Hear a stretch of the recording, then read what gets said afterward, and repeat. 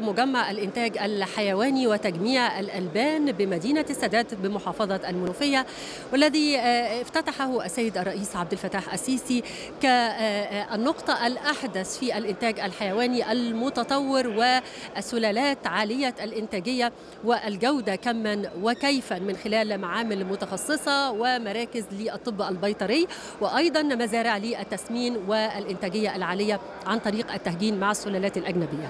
إذا معنا لقاء مع وزارة الزراعة هذا الجندي الذي يبذل الجهود الكثيرة في توفير الأمن الغذائي المصري معالي الوزير السيد السيد القصير وزير الزراعة واستصلاح الأراضي. برحب بحضرتك. أهلا وسهلا صباح الخير.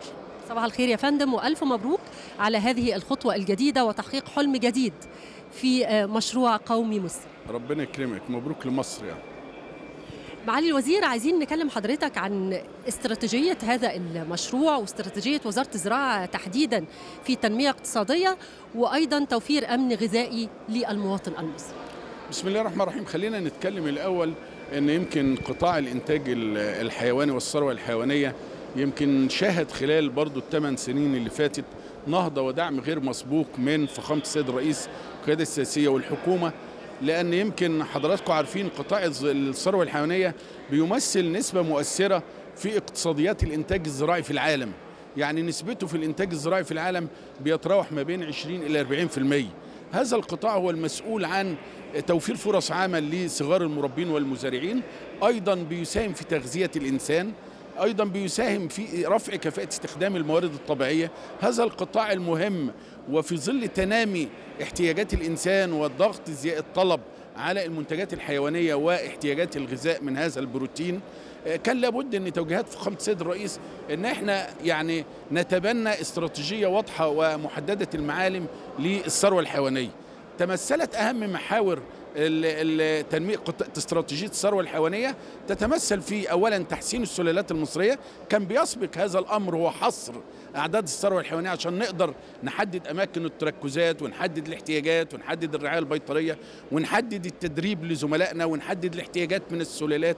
الحاجة الثانية المحور الثاني وهو محور تحسين السلالات ويمكن اللي إحنا بصدد هذا المشروع المشروع المتكامل للإنتاج الحيواني والألبان. أيضا كان المحور الثالث وهو توفير برضو الاهتمام بالرعاية الصحية ودعم صحة الحيوان لأن الحفاظ على ثروة المربي الصغير ده أمر مهم بالنسبة لنا. المح المحور الرابع هو محور المشروع القومي البيتيلو وهو توفير اللحوم الحمراء وتقليل فجوة الاستيراد.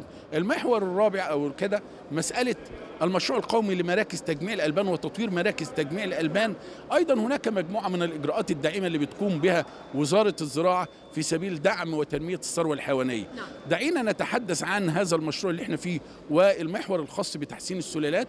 هذا المشروع العظيم اللي, اللي, اللي, اللي تحت رعاية جهاز مشروعات الخدمة الوطنية اللي بنوجه الشكر للقوات المسلحة اللي بجانب دورها الرئيسي في حماية البلاد والدفاع عن الوطن وتوفير الاستقرار والأمن.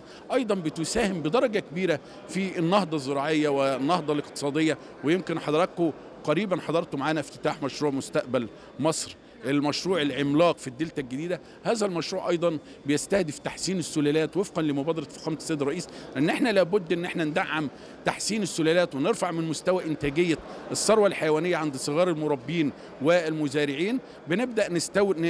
نستخدم محورين. المحور الأولاني إن إحنا بنحسن السلالات اللي موجودة عند صغار المربين والمزارعين من خلال استيراد سلالات عالية الإنتاجية ثنائية الغرض قد إيه يا فندم هنقدر نوفر القيمة المضافة لهذا المشروع وتحسين السلالات والتدخل بالعلم في الهندسة الوراثية في هذا المجال؟ إحنا, إحنا يمكن عندنا عندنا من خلال الحصر في أعداد الثروة الحيوانية عندنا حوالي 7.5 مليون راس ما بين ماشية تسمين ألبان أغنام ماعز وخلافه. عندنا رؤوس الإناث حوالي 2.8 من عشرة قولي 3 مليون راس ماشية. الأصناف عاليه الإنتاجية فيها حوالي أكثر من 150 ألف راس.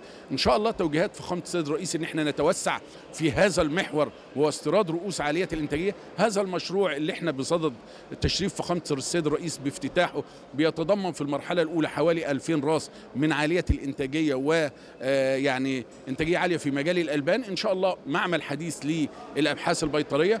أيضا إحنا بنتوسع في هذا الأمر. يمكن امبارح عملنا هيساعد في تقليل الأسعار والشكل المباشر الفائدة المباشرة على المواطن المصري وكمان الفائدة على المربين والمزارعين. اولا له فائدة على ال- ال- المواطن المصري بصفة عامة إن إحنا بنؤدي إلى زيادة إنتاجية اللحوم وبالتالي تحقيق قدر من التوازن وتقليل فجوة الاستيراد.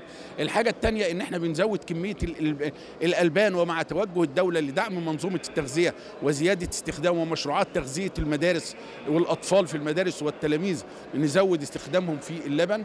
أيضا تصنيع الألبان وأصبحنا حاليا نصدر قدر من المنتجات المرتبطة بالألبان. ده بيوفر عملة صعبة للبلد. على الجانب الآخر بقى إنه بيؤدي إلى توفير حياة كريمة للمربى والمزارع لأن بنفس الإمكانيات وبنفس التكاليف بيحقق إنتاجية عالية سواء من معدل تحول اللحوم أو الألبان. وبالتالي إحنا بنساعده في إن إحنا بنرفع مستوى معيشته بنوفر فرص عمل بنوفر له حياة كريمة. وبالتالي إحنا إحنا توجيه فخامة السيد الرئيس إن إحنا نتوسع في هذا المشروع وبنعمل بروتوكول مع مع آه، كبار ال- المستوردين كبار المربين. المزارع النظامية أيضا بنقدم لها الدعم.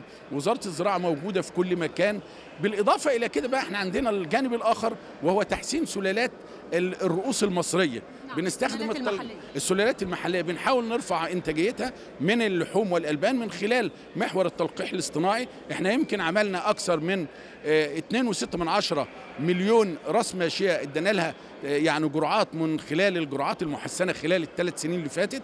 الحمد لله النتائج الإيجابية حوالي مليون راس. ويمكن حضرتك لو شفتي في مظاهر الثروة الحيوانية اللي موجودة في الأسواق وعند المربين تغيرت شوية والإنتاجية ارتفعت شوية سواء في معدل تحول اللحوم أو في معدل الالبان وده كله بيعود على المواطن المصري وعلى شعب مصر العظيم. وتفعيل البحث العلمي والعلم في عمليات التنمية في الداخل المصري بالشكل المتكامل. بشكر حضرتك جزيل الشكر السيد السيد القصير وزير الزراعة واستصلاح الأراضي. شكرا شكرا شكرا.